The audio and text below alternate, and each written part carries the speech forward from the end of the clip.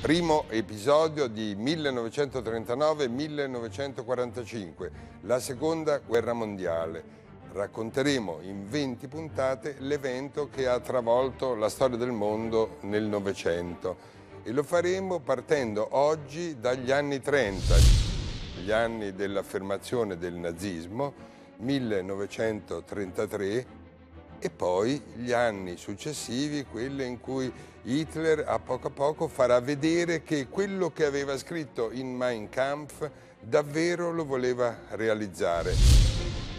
La militarizzazione della Renania, la partecipazione alla guerra civile spagnola 1936-1939, una vera e propria anticipazione della seconda guerra mondiale, la questione dei Sudeti, in mezzo l'annessione dell'Austria e poi conferenza di Monaco. I grandi leader europei pensano che accontentando Hitler lo placheranno.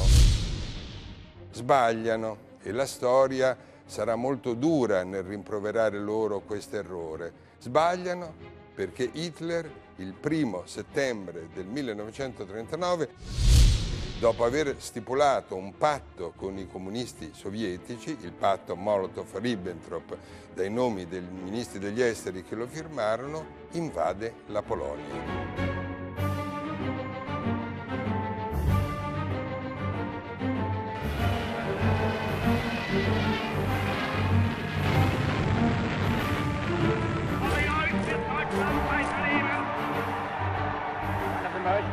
Remarkable features of his work. La dichiarazione di guerra è già stata consegnata ai dittatori Gran Bretagna e di Francia. Henry IV, out of this metal danger, we pluck this flower. Il convenire n'accepte pas cette défaite.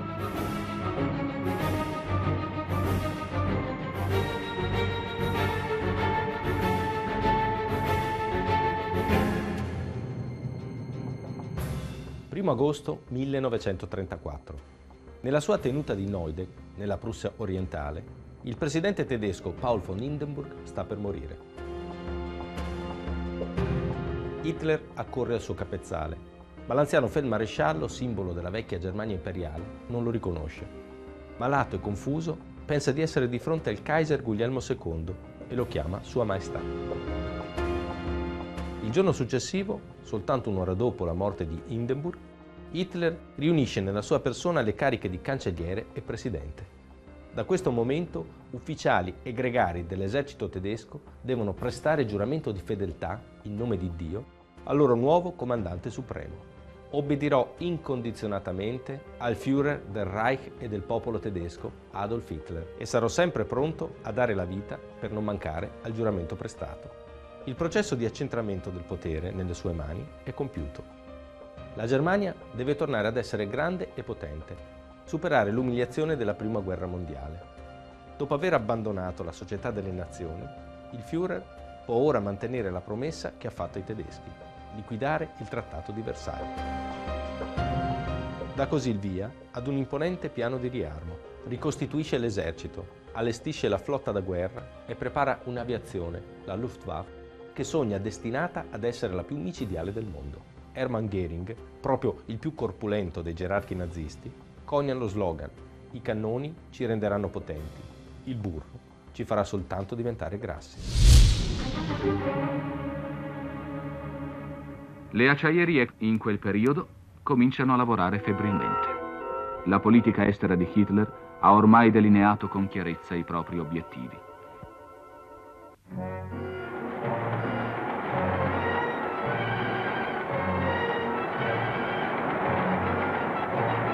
Il riarmo assume proporzioni grandiose, eludendo gli obblighi del Trattato di Versailles.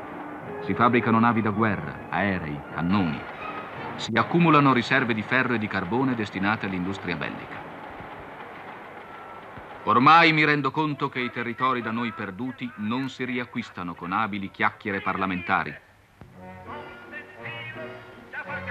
ma solo con una spada sanguinosa. Forgiare questa spada è compito della nostra politica interna. Cercare alleati e usarla è compito della nostra politica estera. Genti dello stesso sangue devono essere unite nello stesso Reich. Noi non rinunciamo a nessun tedesco. Lotta senza quartiere contro il Trattato di Versaglia. Due gradi di cittadinanza.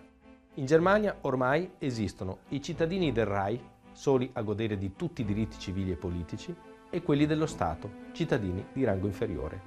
Il discrimine? La purezza del sangue. Il 15 settembre del 1935, infatti, Hitler ha fatto approvare per acclamazione le cosiddette leggi di Norimberga. Cittadino del Reich può essere solo colui che abbia sangue tedesco o affine.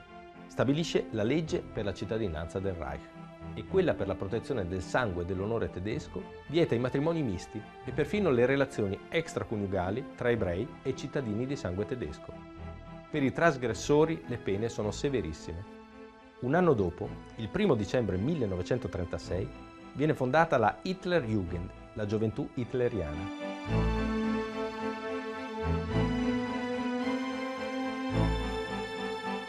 È un altro momento chiave, nasce l'ultima, la più importante, di una lunga catena di associazioni giovanili, scolastiche, del lavoro, paramilitari, che inquadrano il giovane tedesco fino dalla fanciullezza in maniera totale, in ogni età e aspetto della vita. Ma già prima, dalle scuole elementari, a sette anni, ogni bambino deve ricevere l'impronta educativa per crescere davvero nazista. Nasce una nuova materia di studio, l'antisemitismo. Ecco, o piccoli tedeschi, il padre di tutti gli ebrei, il diavolo. È il diavolo che se li ha messi sulle spalle e li ha disseminati nel mondo. Guardateli come sono diversi, l'ariano e l'ebreo. L'ariano alto, nobile, biondo, l'ebreo curvo, nero, meschino. È lui, l'ebreo, la causa di tutte le nostre disgrazie. Non vi fidate di loro, fingono di convertirsi, ma poi mangiano carne il venerdì. Attenti, bambini, a certi nomi. Chi li porta è un ebreo. Hirsch, per esempio, o Falkenblau. Il mondo è solo dei tedeschi. Via gli ebrei dai nostri locali pubblici, dalle nostre piscine, dalle nostre spiagge. E soprattutto via gli ebrei, insegnanti e alunni, dalle nostre scuole. Ed ora leggete Der Stürmer come centinaia di migliaia di bambini tedeschi. In quegli anni, il settimanale Der Stürmer vende centinaia di migliaia di copie e citando anche in modo osceno la fantasia dei fanciulli contro gli ebrei. Il suo direttore è Julius Streicher, un acceso antisemita che Hitler definisce un dono di Dio. Nel 1936-37 la persecuzione antisemita è già ad un punto avanzato. In tutta la Germania non c'è più un impiegato ebreo al lavoro e gli ebrei sono allontanati dalle scuole, dall'esercito, dalle libere professioni pedagogia, letteratura, arte, filosofia, tutto concorre ad accendere gli spiriti antisemiti e guerreschi. L'Europa intera va ripulita dagli ebrei e tutto si trasforma in una preparazione alla guerra. È il 7 marzo del 1936 quando l'esercito nazista entra in Renania. La Renania, una regione all'estremo ovest della Germania, secondo i trattati di Versaglia, doveva restare demilitarizzata era una garanzia per la Francia da possibili attacchi. Ma i trattati per Hitler non contano più. Nonostante le esitazioni dello Stato Maggiore, timoroso di più gravi conseguenze, Hitler ordinò l'occupazione militare. L'esercito nazista giunse così ai confini della Francia. Per qualche giorno si ha l'impressione che la Francia non accetti il fatto compiuto e respinga l'invasione tedesca con le armi. Poi prevarrà il desiderio della pace a ogni costo quel desiderio cui Hitler dovrà nei prossimi anni tanti successi diplomatici. Da un plebiscito interno risultò ufficialmente che il 99% dei tedeschi approvava la mossa di Hitler. Il Führer ne prende atto in Parlamento e ribadisce le sue intenzioni pacifiche. La Renania è stata occupata per togliere ogni motivo d'attrito con la Francia. Ora finalmente, egli assicura, comincerà un nuovo capitolo di pace tra i due paesi.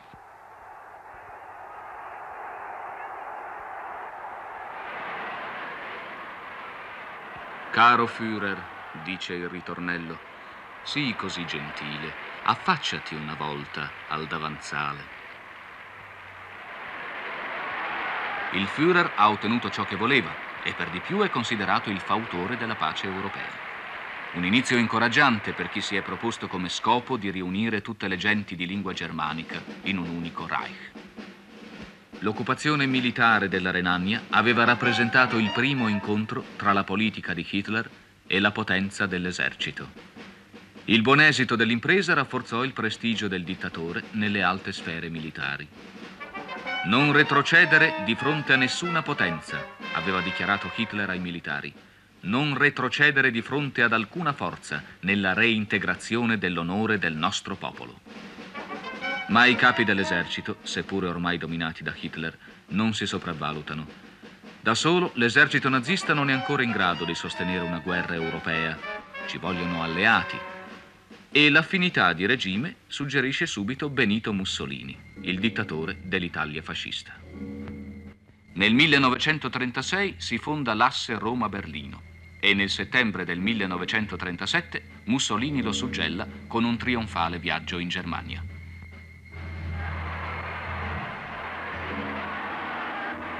Nel 1934, a causa dell'assassinio del capo del governo austriaco Dollfuss, era quasi scoppiata una guerra tra Italia e Germania. Hitler in quella occasione aveva dovuto cedere. Ma ormai è tornata la buona intesa tra le due dittature. L'alleanza si va cementando in quegli anni in una comune impresa di guerra, la guerra di Spagna, teatro di una rivoluzione sanguinosa. Il 16 luglio 1936 un gruppo di militari con a capo il generale Franco si solleva contro il governo democratico di Madrid. L'Italia e poco dopo la Germania appoggiano apertamente con uomini e mezzi il colpo di Stato. L'Unione Sovietica invia ingenti aiuti a Madrid e contemporaneamente cerca di favorire all'interno del governo l'azione dei comunisti. Mentre l'Inghilterra e la Francia proclamano il non intervento evitando un atteggiamento chiaro e senza equivoci, in Spagna giungono, per combattere accanto alle truppe governative, antifascisti di ogni paese d'Europa ed America.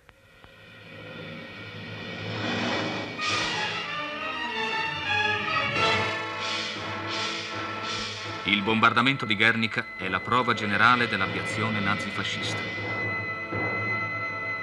Quel giorno, a Guernica e subito dopo a Madrid, è stato sperimentato un nuovo tipo di guerra. Presto centinaia di città, grandi e piccole, subiranno la medesima sorte in tutta Europa.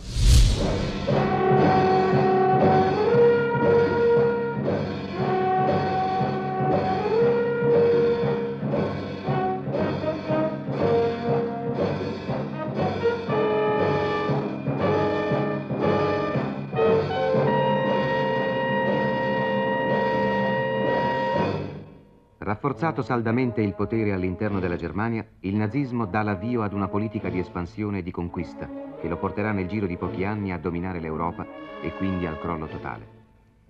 Denunciato ufficialmente il Trattato di Versailles, la preparazione bellica della Germania non conosce più ostacolo. Hitler è deciso a conquistare al Reich tedesco nuove terre.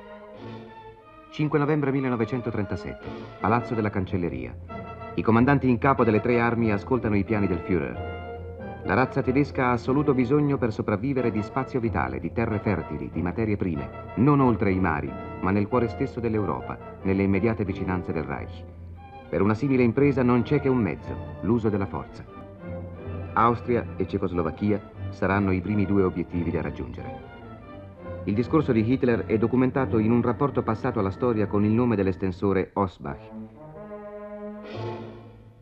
Il comandante in capo dell'esercito von Fritsch e il ministro della guerra von Blomberg, che avevano sollevato obiezioni, vengono presto esonerati dalle loro cariche. Si arriva all'inizio del 1938 alla resa dei conti fra Hitler e i vertici militari. Nel 1934 era stato stipulato una sorta di patto. Ecco, nel momento in cui decide di partire alla conquista dell'Europa, e forse non solo, Hitler vuole avere dei vertici militari che siano in qualche modo sottoposti al suo volere, che li siano legati. Come fare per liberarsene? Montando uno scandalo. Questo uh, scandalo Blomberg-Fritsch fu una montatura, fu un'evidente montatura. Eh, si basava su mm, dossier costruiti dalle SS o dai servizi segreti di Hitler eh, che accusavano uh, Fritsch di essere omosessuale, cosa che allora era reato. Per Blomberg l'accusa era quella di avere eh, sposato uh, la sua segretaria, molto più giovane di lui, che, sarebbe, che avrebbe avuto un passato di prostituta, cosa non vera, come non era vera l'omosessualità di Fritz. Il 4 febbraio Hitler assume personalmente il comando supremo delle forze armate.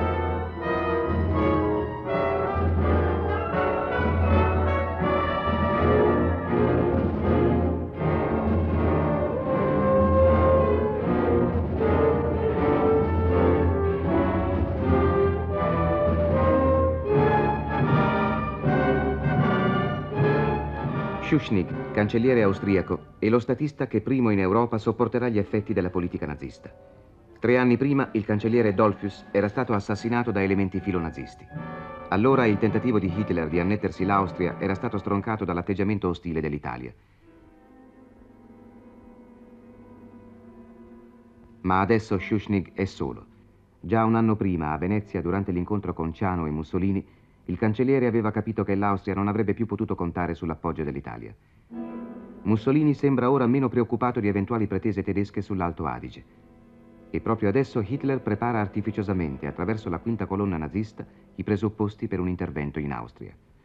L'ambasciatore tedesco a Vienna, von Papen, consiglia a Schuschnigg un incontro con il Führer. Il 12 febbraio del 1938, nel rifugio alpino di Hitler a Berchtesgaden, l'incontro dei due statisti è drammatico. Schuschnigg nella misura del possibile noi faremo del tutto e io dico che in un modo o nell'altro risolverò questa cosiddetta questione austriaca, lo interrompe Hitler. Schuschnigg, cercheremo di eliminare gli ostacoli che si frappongono ad una migliore comprensione fra noi. Hitler, basterebbe un ordine e in una sola notte tutto il ridicolo sistema della vostra difesa crollerebbe. Hitler chiede la revoca del decreto che pone il partito nazista austriaco fuori legge e la nomina del filo nazista viennese Seyss-Inquart al ministro dell'interno entro il 18 febbraio. Il 16 febbraio Seyss-Inquart assume il Ministero degli Interni e il giorno dopo è dal Führer. Improvvisamente Schuschnigg invita il popolo austriaco ad un referendum. Dovrà decidere esso stesso se vuole o no un'Austria libera e indipendente. Hitler impone di revocare il plebiscito. Goering telefona da Berlino. Schuschnigg deve cedere il cancellierato a Seyss-Inquart. Abbiamo ceduto alla forza, dirà un'ora dopo Schuschnigg alla radio, perché non vogliamo versare del sangue. Dio protegga l'Austria. La sera dell'11 marzo Seyss-Inquart diventa cancelliere. D'accordo con lui, la notte dello stesso giorno le truppe naziste varcano il confine austriaco. La bandiera con il simbolo della svastica viene issata sulla guglia più alta del Duomo di Santo Stefano. L'Anschluss fu il vero shock. Anzitutto perché non bisogna dimenticare che una delle clausole fondamentali del Trattato di Versailles era non può e non deve esserci l'unione fra l'Austria e la Germania. Germania e Austria sono, hanno sempre fatto parte di uno stesso mondo, il mondo germanico, il Sacro Romano Impero. Negare l'Anschluss era negare il principio di nazionalità, ma naturalmente non si voleva che la Germania fosse troppo forte e il Trattato di Versailles fece di quel punto una delle sue colonne, delle sue eh, pilastri.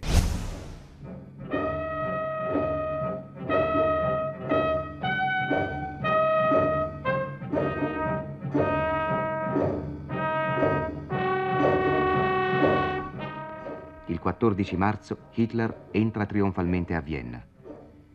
Io credo, dirà pochi giorni dopo, che Dio ha voluto inviare un giovane di questa terra nel Reich perché vi divenisse grande. Ha voluto elevarlo alla dignità di capo della nazione per permettergli di riportare un giorno la sua terra natale nel seno del Reich.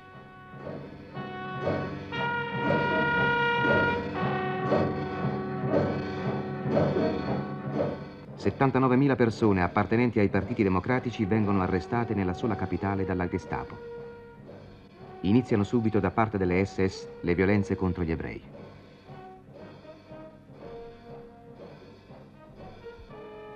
Il popolo austriaco viene chiamato alle urne per votare l'annessione alla Germania. Il 10 aprile 1938, con il 99,75% di voti favorevoli all'annessione, l'Austria cessa di essere una nazione indipendente e diventa una provincia del Reich. Il primo obiettivo è raggiunto. Ormai quella della Germania nazista è un'ascesa totale, militare e economica, ma anche sportiva. A tre settimane dall'Anschluss, l'annessione dell'Austria al Reich, la Federazione Calcistica Tedesca organizza al Prater di Vienna la partita della riunificazione tra Germania e Austria.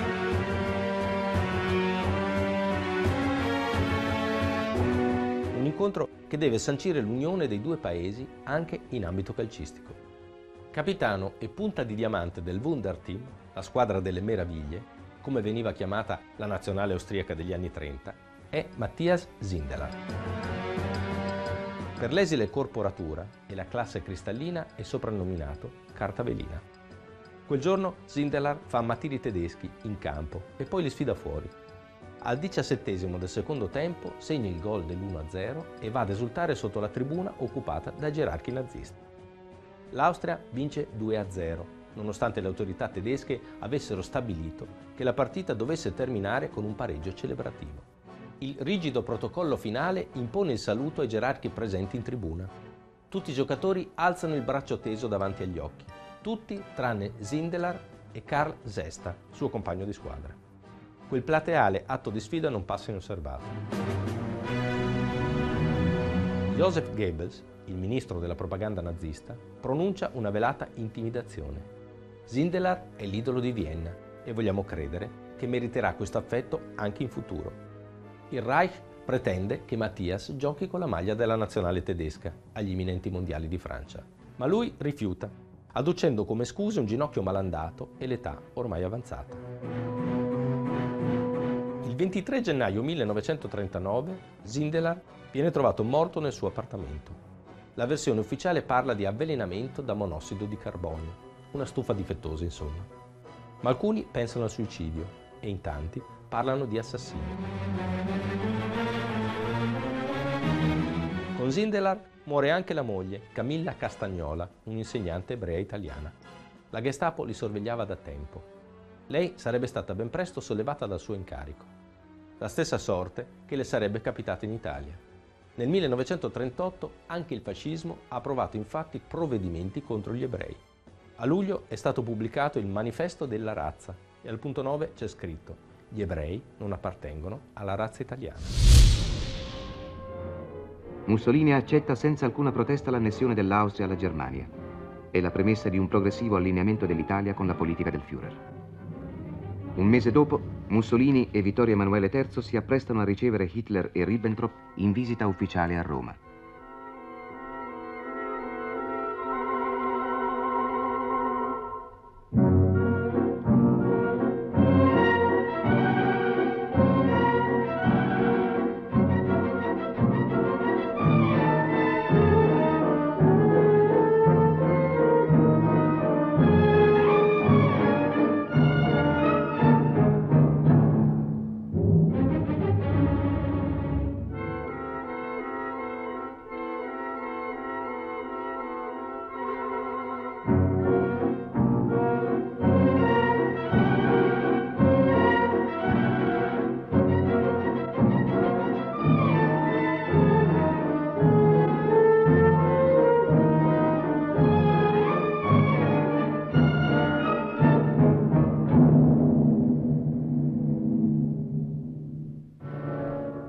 Cornice fastosa in cui si svolgono parate, discorsi e ricevimenti indica chiaramente la scelta che Mussolini ha in animo di compiere, anche se per il momento vuole evitare passi troppo clamorosi.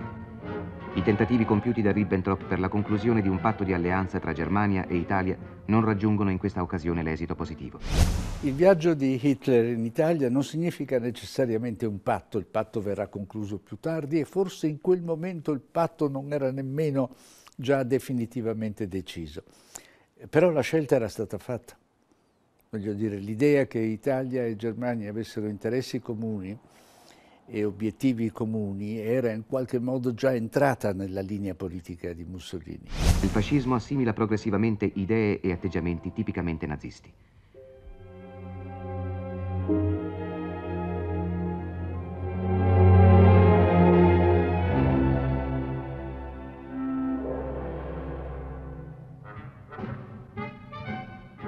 Paese come l'Italia, che non aveva mai conosciuto persecuzioni razziali, si crea artificiosamente una questione ebraica. Ben presto saranno promulgate le prime leggi razziali e cominceranno le persecuzioni agli ebrei.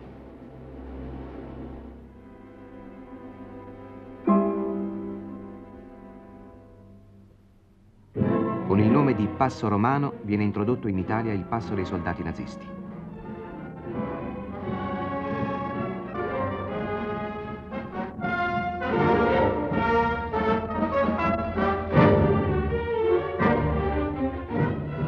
Annessa l'Austria è la volta della Cecoslovacchia. È il secondo obiettivo della politica di Hitler. I tedeschi della regione dei Sudeti, che costituiscono un terzo dell'intera popolazione cecoslovacca, passano a ritmo serrato nelle file del partito nazista. Essi agitano la bandiera dell'autonomia, mentre Berlino li prepara politicamente e psicologicamente all'attuazione dei suoi piani. Il partito nazista dei Sudeti, sussidiato sin dal 1935 dalla Germania, è pronto nel 1938 ad eseguire ciecamente gli ordini di Berlino. Il suo capo è Konrad Henlein, un professore di ginnastica. Sono trascorsi appena 15 giorni dall'occupazione dell'Austria. Henlein si reca a Berlino a conferire con il Führer. Come primo obiettivo, ordina Hitler, dovete formulare richieste inaccettabili per il governo di Praga. La consegna di Hitler svela in modo inequivocabile come la questione dei Sudeti fosse soltanto un pretesto per l'eliminazione dell'intera Cecoslovacchia. Con questa direttiva Henlein torna in patria. I nazisti sudeti si organizzano in formazioni paramilitari. Ad essi spetterà il compito di provocare incidenti che Berlino attribuirà poi al governo cecoslovacco. Il 12 settembre 1938, al congresso del partito nazista a Norimberga, Hitler minaccia apertamente un intervento armato in Cecoslovacchia. Sette giorni più tardi, il Führer ordina ad Henlein di interrompere con speciosi pretesti le trattative in corso a Praga per l'autonomia dei Sudeti. La Wehrmacht ha già ricevuto l'ordine di elaborare i piani per l'attacco alla Cecoslovacchia. Il primo ottobre tutti i preparativi militari dovranno essere conclusi. Sull'Europa appaiono le prime minacciose ombre della guerra. Inghilterra e Francia, legate da vincoli di amicizia e di alleanza alla Cecoslovacchia, tentano un compromesso. Tre giorni dopo il discorso di Hitler, il primo ministro inglese Chamberlain giunge a Berchtesgaden nel rifugio alpino del dittatore.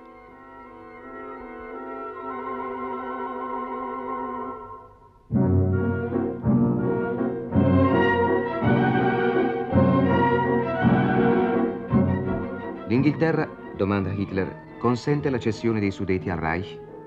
Non posso rispondere subito, replica Chamberlain. Devo prima consultare il mio governo e quello francese. Raggiungerò in ogni modo il mio scopo, lo interrompe Hitler. Anche con la guerra, magari una guerra mondiale. Il resto del mondo può comportarsi come vuole. Se il Führer è deciso a regolare questa questione con la forza senza neanche attendere di discutere con me, perché ha accettato che venissi? Ho perduto il mio tempo. Quando parliamo di Chamberlain, naturalmente parliamo di una persona a cui si è, per così dire, appiccicata addosso l'etichetta dell'uomo di Stato troppo pacifista, remissivo, conciliante, imbelle. In realtà il povero Chamberlain nel 1938, quando cercò più volte di negoziare con Hitler, di trovare un contatto con Hitler, anche con dei viaggi in Germania che furono molto discussi, beh, rappresentava il suo paese, rappresentava veramente la società britannica come era in quel periodo. L'Inghilterra non voleva la guerra. Passano otto giorni. Chamberlain è nuovamente da Hitler. La Cecoslovacchia, sebbene a malincuore, accetta, sollecitata dalla Francia, il principio dell'autodeterminazione per la zona dei Sudeti.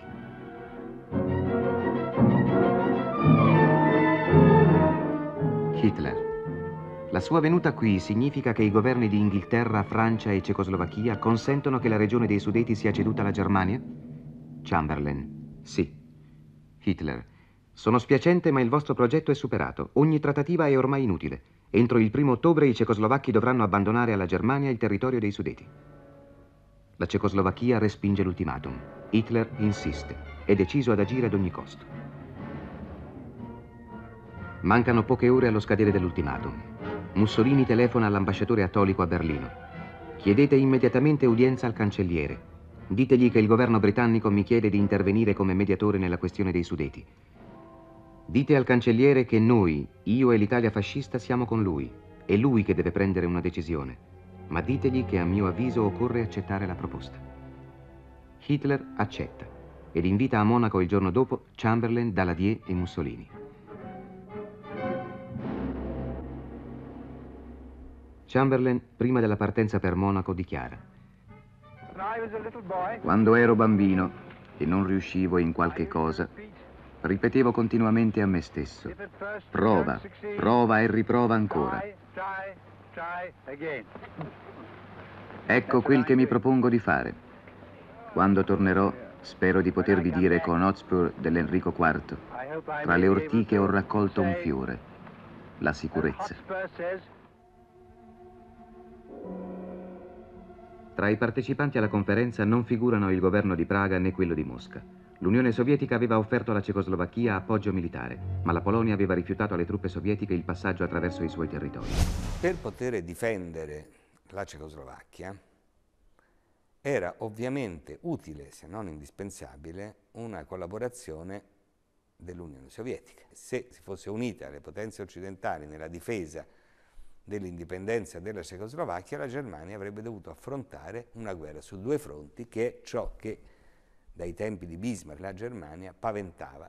L'Unione Sovietica viene ovviamente coinvolta nelle, nelle, trattative per un possibile intervento a favore della Cecoslovacchia, ma pone una condizione irrinunciabile di poter passare con le sue truppe in Polonia, perché ovviamente per combattere su un fronte lontano dai suoi confini è più vantaggioso. Perché la Polonia rifiuta? La Polonia rifiuta perché temeva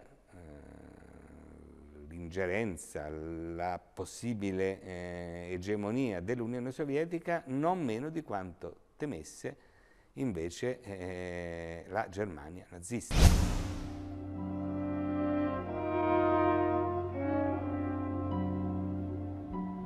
Il compromesso presentato da Mussolini ma elaborato direttamente dal Ministero degli Esteri di Berlino viene approvato da Chamberlain e da Ladier. L'occupazione dei territori con popolazione in prevalenza tedesca sarà effettuata fra il 1 e il 7 ottobre. Il resto dei territori dei Sudeti, delimitato da una commissione internazionale, passerà al Reich entro il 10 ottobre. Oggi noi riteniamo che la crisi cecoslovacca, vale a dire la scomparsa della Cecoslovacchia dalla Carta d'Europa, fosse per così dire il, mm, il, grande errore delle democrazie e certamente a posteriori non si può non sostenere questa tesi. Ma alla fine di gente che piangesse molto per la Cecoslovacchia non ce n'era molta in quel particolare momento in Europa. Bisognerà pur rendersi conto che la Cecoslovacchia era uno Stato artificiale e che fu disegnato a Versailles in modo abbastanza, come dire, irrazionale e irresponsabile. Unire due province dell'impero asburgico, la Boemia e la Slovacchia, mettere insieme a queste due province molto diverse l'una dall'altra un'altra provincia, la terra dei Sudeti, dove c'erano 3 milioni di eh, tedeschi e fare questo dopo un trattato di pace che quantomeno in, in linea di principio era fondato sul principio di nazionalità. Hitler ha ormai via libera per l'attuazione dei suoi piani. Chamberlain e Daladier hanno evitato la guerra a caro prezzo. Il ministro ceco Jan Masaryk, poco prima della firma del patto di Monaco, aveva dichiarato se voi sacrificate il mio paese per salvare la pace del mondo, sarò il primo ad approvarvi. Altrimenti, signori, Dio abbia pietà di voi.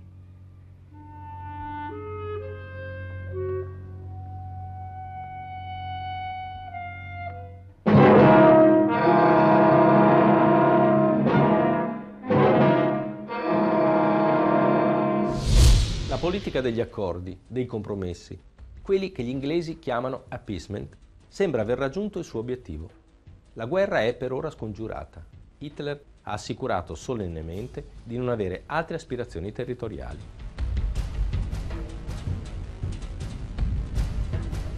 Mussolini rientra a Roma in trionfo. Viene considerato il salvatore della pace. Tanti italiani accorrono a ogni stazione ferroviaria per manifestare il proprio entusiasmo e la propria fede nei confronti del duce, anche se non sfugge a nessuno che egli, ancora impreparato per affrontare una guerra, non ha semplicemente fatto il gioco di Hitler. Grandi folle festanti anche a Londra e a Parigi. Qui il primo ministro Daladier è pronto ad affrontare la rabbiosa protesta dei suoi connazionali. Quando, con sua sorpresa, si vede accolto come un eroe, scuote la testa, guarda la folla e bisbiglia ad uno dei suoi collaboratori. Imbecilli. Non sanno che cosa applaudono. Chamberlain invece non considera gli accordi di Monaco una sconfitta. Appena sceso dall'aereo, sventola, tra l'entusiasmo generale, la carta del suo accordo con il dittatore tedesco. Questa mattina ho avuto un altro colloquio con il cancelliere tedesco Herr Hitler. Ecco il documento che porta la sua e la mia firma. Consideriamo l'accordo firmato ieri sera come simbolico del desiderio dei nostri due popoli di non scendere mai più in guerra gli uni contro gli altri. Qualche giorno dopo, alla Camera dei Comuni, parla di pace con onore, ma Churchill, in quel momento all'opposizione, commenta amaramente. Gran Bretagna e Francia potevano scegliere fra il disonore e la guerra. Hanno scelto il disonore e avranno la guerra. Il primo ottobre, secondo l'accordo firmato a Monaco, inizia l'occupazione dei territori cecoslovacchi con popolazione prevalentemente tedesca. Il giorno prima il governo di Praga aveva capitolato denunciando in faccia al mondo l'isolamento in cui era stato lasciato dalle potenze occidentali.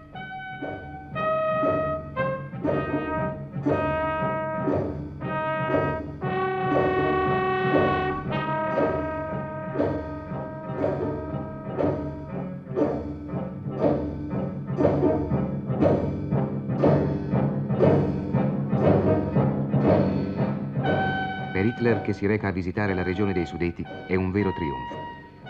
I suoi piani si attuano con il ritmo voluto, senza incontrare alcun serio ostacolo. I nostri avversari, dirà, hanno perso ogni volontà di resistenza. Da ogni parola che si sente nel loro campo trapela il desiderio di trattare con noi. Non chiedono che di coltivare i loro fiori, di pescare con la lenza e di passare le loro serate accanto al fuoco con la Bibbia in mano.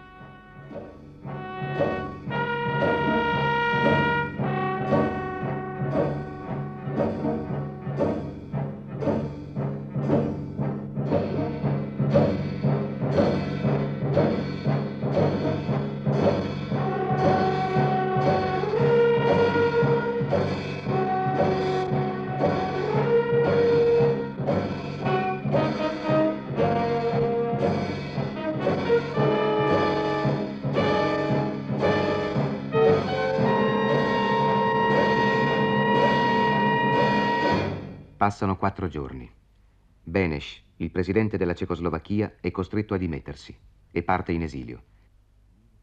Nuovo presidente è eletto Acia. Monsignor Tiso, esponente politico slovacco, è lo strumento con il quale Hitler distrugge dall'interno lo Stato cecoslovacco.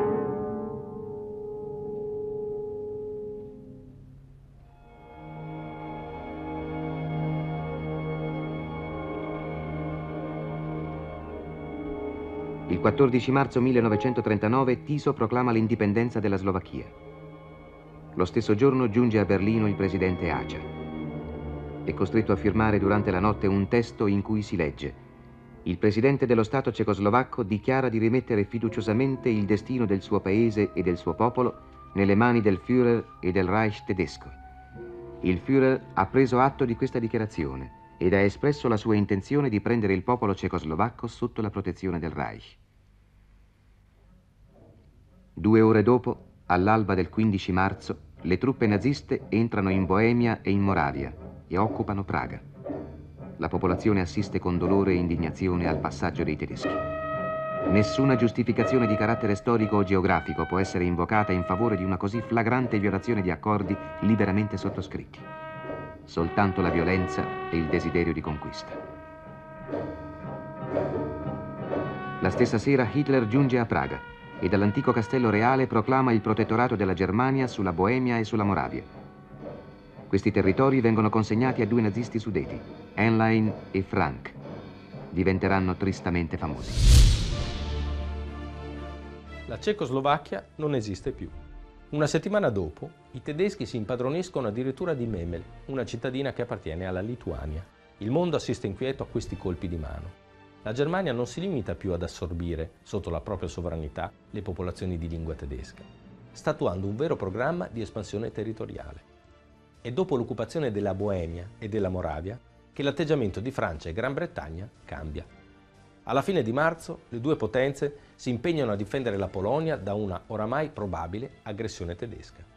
Il nuovo obiettivo di Hitler è Danzica, di cui invoca la restituzione alla Germania. Il governo di Varsavia guarda con crescenti speranze verso Parigi e Londra. E poi c'è l'Unione Sovietica.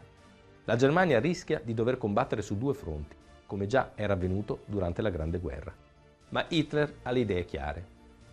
A est guarda con crescente interesse ad un accordo con Stalin, mentre ritiene che sul fronte occidentale l'Italia farà buona guardia alla Francia. Il regime fascista, benché stremato dalle campagne d'Etiopia e di Spagna, sta perseguendo una politica bellicista. Proclama di essere disposto a battersi per Nizza, per la Corsica e perfino per Djibouti. Inoltre, nell'aprile 1939, un corpo di spedizione italiano occupa l'Albania, che viene annessa al Regno d'Italia. Il 22 maggio il fascismo lega definitivamente le sue sorti a quelle del nazismo. Al palazzo della cancelleria di Berlino, il ministro degli esteri italiano Galeazzo Ciano firma il patto d'acciaio. L'intesa politica dell'asse Roma-Berlino si consolida ora in una vera alleanza militare tra i due regimi. Nel terzo articolo si legge Qualora una delle parti verrà a trovarsi implicata in complicazioni di carattere militare con un'altra o con altre potenze, l'altra dovrà immediatamente intervenire al suo fianco. Il giorno dopo la stampa titola 150 milioni di italiani e di tedeschi marceranno insieme, qualunque cosa accada. Le complicazioni di carattere militare sono, a questo punto, cosa certa. Patto di alleanza e di amicizia concluso oggi fissa e consacra in precisi impegni politici e militari quella profonda comunione di spiriti e di opere che esiste tra Germania nazista e l'Italia fascista. Il patto d'acciaio stipulato dall'Italia fascista con la Germania nazista fu un patto anomalo nella storia dei rapporti diplomatici, nella storia dei trattati, delle relazioni internazionali. La sua formulazione era in effetti, eh, per molti aspetti, sorprendente. Si parlava di intervento di una delle due potenze contraenti a fianco dell'altra, ove l'altra fosse stata coinvolta in eventi bellici con potenze terze. Coinvolta, questo significava che il legame riguardava non solo come era nella tradizione dei trattati del, fra le grandi potenze la necessità di una difesa da un'aggressione altrui. No, qui si trattava di intervenire in automatico anche in seguito a una guerra di aggressione. Perché eh, l'Italia fascista, Mussolini e il suo ministro degli esteri Ciano accettano questa formulazione così impegnativa e diciamo anche eh, abnorme dal punto di vista dei rapporti diplomatici, anche sulla base del fatto che Hitler eh, assicura verbalmente a Mussolini che la guerra sì ci sarà e a questo Mussolini anche si stava preparando, ma allora non era ancora pronto, ma ci sarà fra tre anni. Pochi mesi dopo, la Germania conclude con l'Unione Sovietica un patto di non aggressione. Stalin diffida adesso dei paesi occidentali e giudica la loro politica incerta ed ambigua. Annessa l'Austria, conquistata la Cecoslovacchia e garantitosi l'alleanza italiana, Hitler traccia i suoi piani di espansione verso l'est. Stalin preferisce cautelarsi stringendo un accordo con i nazisti.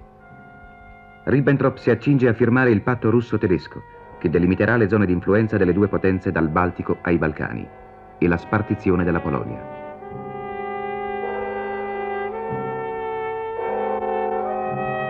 La Polonia, infatti, è il terzo obiettivo di Hitler. Il patto tra Stalin e Hitler è firmato. La condanna della Polonia è ormai certa. Un'ondata di patriottismo si solleva in tutto il paese.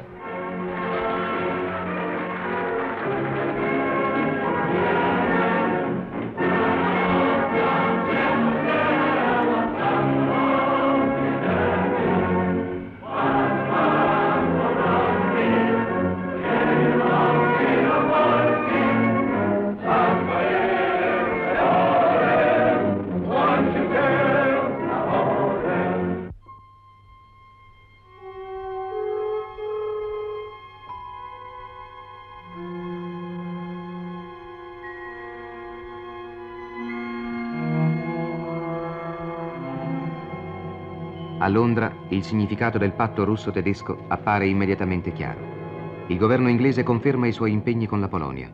Chamberlain dichiara in Parlamento il patto di non aggressione russo-tedesco non modificherà in nulla gli obblighi verso la Polonia che la Gran Bretagna ha spesso pubblicamente confermato ed è risoluta a mantenere. A Parigi si vivono ore drammatiche. Il governo è in crisi. Alcuni ministri manifestano gravi perplessità sulla linea da seguire. Daladier dichiara che la Francia manterrà gli impegni sanciti nel trattato di alleanza con la Polonia, ma le perplessità e le incertezze permangono nel governo e nel paese. Roma. Gli avvenimenti colgono di sorpresa Mussolini. Nonostante le sue dichiarazioni favorevoli alla Germania, egli avverte la gravità della situazione in cui è stato posto da Hitler e mantiene un atteggiamento oscillante. I nostri nemici, dichiara Hitler al suo Stato Maggiore, speravano che dopo la conquista della Cecoslovacchia la Russia si sarebbe schierata contro di noi, ma essi non mi conoscono. I nostri nemici sono dei vermiciattoli, l'ho visto a Monaco. Hitler è certo che Francia e Inghilterra non si muoveranno. 25 agosto. Il Führer fissa l'invasione della Polonia per il giorno successivo alle ore 15. Poche ore dopo l'ordine è ritirato. Due fatti nuovi. L'Inghilterra ha firmato un trattato di alleanza con la Polonia e Mussolini ha avvertito di non essere ancora pronto all'entrata in guerra a fianco della Germania. Hitler teme adesso l'intervento degli occidentali e offre loro garanzie di ogni genere pur di avere mano libera sulla Polonia. 29 agosto l'Inghilterra conferma i suoi impegni con il governo polacco e propone trattative dirette tra Germania e Polonia. Hitler concede solo 24 ore. Il tentativo fallisce. Tutto il mondo, sono le parole del presidente degli Stati Uniti Roosevelt, prega affinché la Germania consenta, come la Polonia, a trattare pacificamente. Alle prime ore del 30 agosto il governo di Varsavia proclama la mobilitazione generale. Era quello che Hitler voleva.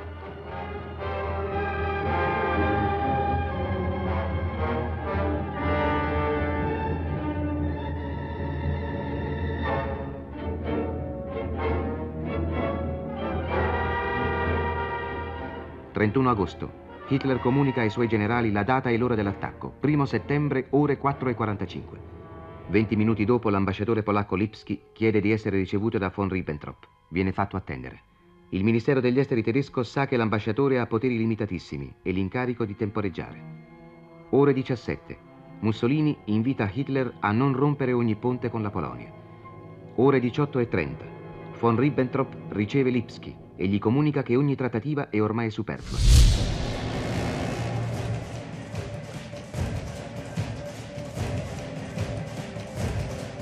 La nonna è morta. Con questa parola d'ordine, Reinhard Heydrich, comandante dell'Ufficio Centrale per la Sicurezza del Reich, dà il via alla Seconda Guerra Mondiale. Sono le ore 20 del 31 agosto 1939. Hitler, ormai deciso ad attaccare la Polonia, ha incaricato il capo delle SS, Heinrich Himmler, di organizzare un incidente sulla frontiera polacca. Deve fornire all'esercito tedesco un pretesto che giustifichi, di fronte all'opinione pubblica internazionale, la nuova aggressione. Heydrich pianifica l'operazione, preparata nel più assoluto segreto. Il piano prevede la simulazione di un assalto da parte di soldati tedeschi travestiti con uniformi polacche alla stazione radio di Gleiwitz, una cittadina della Slesia situata a pochi chilometri dal confine con la Polonia. Così un comando nazista di 12 uomini entra in azione. Due tecnici tedeschi, ignari di tutto, cercano di difendersi dagli assalitori, ma vengono uccisi dai loro stessi connazionali. Occupata la stazione, gli aggressori lanciano, in lingua polacca, un finto messaggio di sfida al Terzo Reich. Poi la squadra di sabotatori si allontana, fingendo di dirigersi verso il confine. È l'incidente che consente a Hitler, da Berlino, poche ore dopo, di annunciare alla radio questa notte truppe regolari polacche hanno aperto il fuoco sul nostro territorio. Dalle ore 4.45 di oggi, venerdì 1 settembre 1939, le nostre forze armate sono passate al contrattacco. Le armate tedesche invadono la Polonia. La macchina della guerra si è messa in moto. Hitler aveva da tempo studiato nei minimi dettagli l'invasione della Polonia e nel tentativo di giustificare questa aggressione dinanzi all'opinione pubblica tedesca e internazionale, non aveva esitato a ricorrere all'inganno ordinando che SS, travestiti da polacchi, simulassero un attacco alla stazione radio tedesca di Gleiwitz. Ormai la guerra, il grande ideale della politica hitleriana, incombe sulla testa di milioni di europei.